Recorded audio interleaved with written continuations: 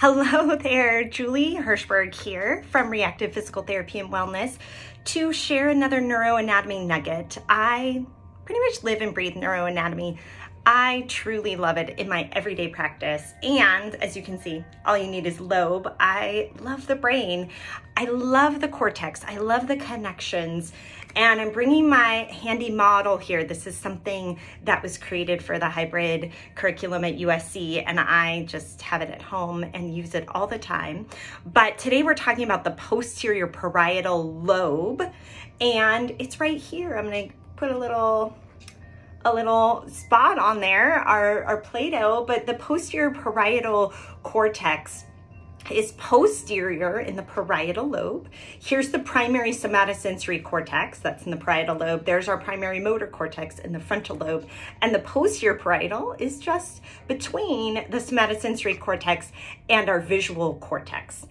And it's a really cool part of the brain because it is a source of integration. It's also called a sensory association cortex because it brings in visual, auditory, emotional information with our sensory information to make sense of the world, make sense of ourselves.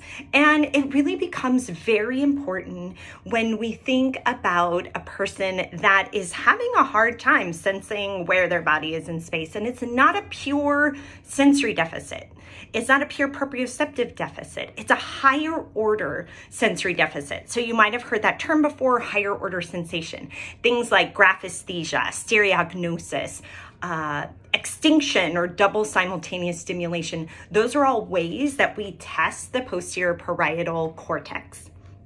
And what's really important is that when somebody's experiencing those symptoms, we test it and we can train it thank goodness, right? So we can really help that person who's feeling kind of disconnected from their body or even disembodied. We can help them reconnect by training those functions of the posterior parietal cortex.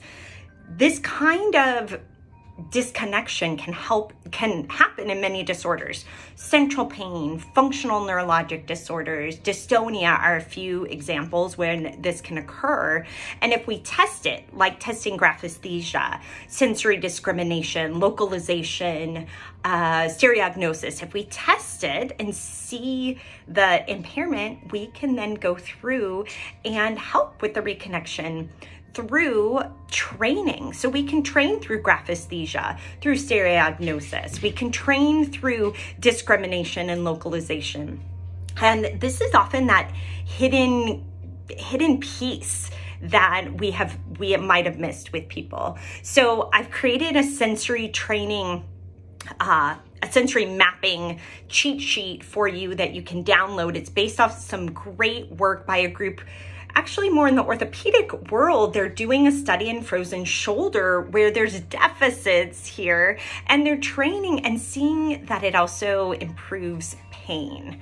So um, download it. It's a great, uh, great resource that you can use that I've been using a lot in my own practice. And re relearning, helping recreate these connections. This is all about central nervous system connectivity, which is really what our next weekend course is about is how do we cultivate that connectivity? How do we cultivate some of those associations in the cerebral cortex to improve the lives of the people that we work with. So that course is coming out October 10th and 11th. It's all online, it's live. You can submit cases and get feedback. It's with PTs, OTs, and physicians. It's going to be phenomenal.